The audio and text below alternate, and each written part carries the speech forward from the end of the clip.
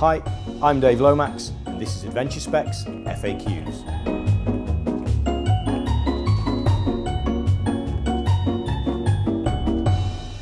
As a rough rule of thumb, the more rubber you have on the outside surface of a tyre, the longer the tyre will last and the better the grip you get on solid surfaces such as tarmac.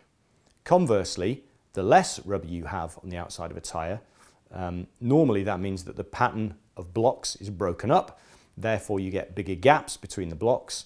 That increases your performance on broken ground or soft ground, but it also decreases the performance of the tyre on hard pack, such as tarmac. So let me give you an example of some actual tyres and how that relates to the real world.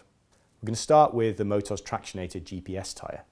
This has a solid band of rubber running around the centre of the tyre all the way around the circumference.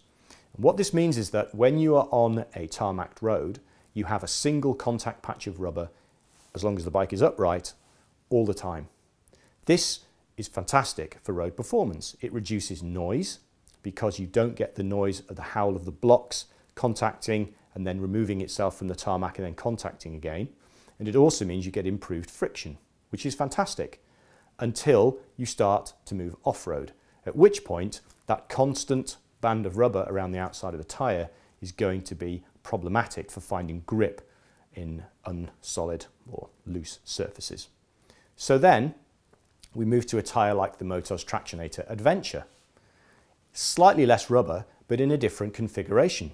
In this case, it has a series of blocks running all the way around the tyre with gaps in between along the centre line.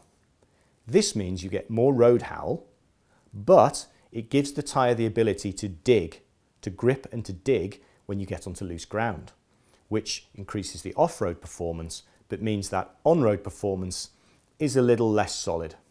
And finally, moving on to a true, more focused off-road tyre, like the Motoz Tractionator Rall Z, the blocks get smaller and are zigzagged, giving more bite and more grip off-road.